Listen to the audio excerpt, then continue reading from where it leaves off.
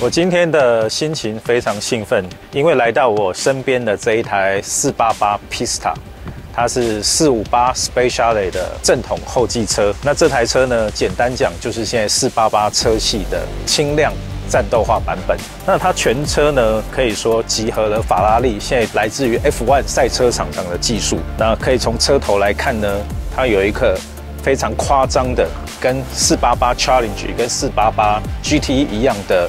这种空力设计哦，那一直延伸到车尾，包括它独特的尾翼，整个车身的空力比起一般的四八八提升了百分之二十的空气效益。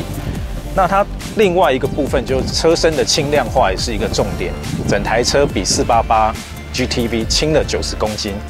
那除了大幅的空力优化、车身轻量化之外呢，另一个重点就是底盘的强化。那除了最基本的悬吊变得更硬，然后轮胎用了米其林的 Pilot Sport Cup Two 这种半热熔胎之外呢，它的电控系统也整个经过整合，包括最新的第六代侧滑角控制系统。可以让你在极限的时候更容易掌控车尾的动态。以市场性来讲，这台车的台湾售价大概是两千万左右。不过这两款无论是硬顶还是敞篷，其实你都买不到了，因为台湾的配额也不过就是二三十部，而且早就卖完。所以我们今天非常幸运，可以在北宜公路好好试驾这台车。大家可以看到，这个引擎盖非常轻，那甚至可以选配这种强化的。树脂呼应它整台车轻量化的这种效果。法拉利其实从来不参加马力竞赛，但是这台车呢，事实上它最大马力也调到了七百二十匹，非常大。在整个内部结构上也做了非常多赛车化的调教，就呼应它的车身结构一样，就是大幅在散热方面做了非常大的改良。那白话一点讲，它可能就是变得更耐操，然后散热效益也变得更好。然后实际上速度也非常快，但是我想快从来不是法拉利要强调的重点。我觉得整体的跟底盘的匹配跟均衡性才是这台车的重点。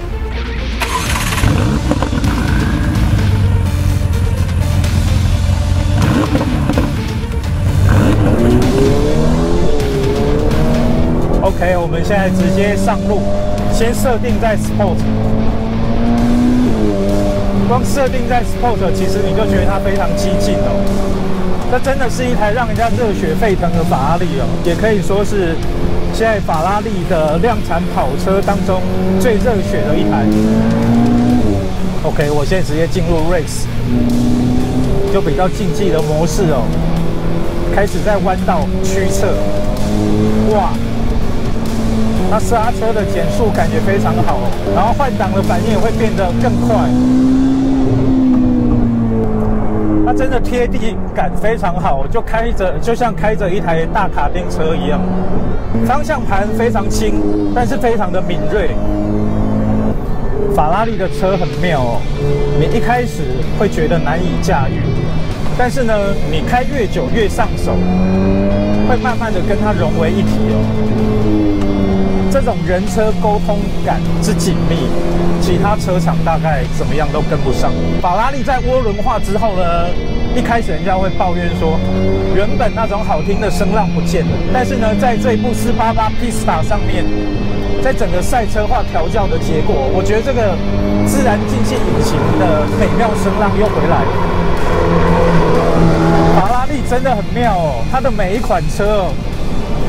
都能让你越开越嗨哦，肾上腺素越分泌越多。所以以前就有人讲了，法拉利啊，就像一个性感的意大利情人，你很容易跟他勾动天雷地火，一路不断的交缠激情之后呢，下车之后总是有一种虚脱的感觉。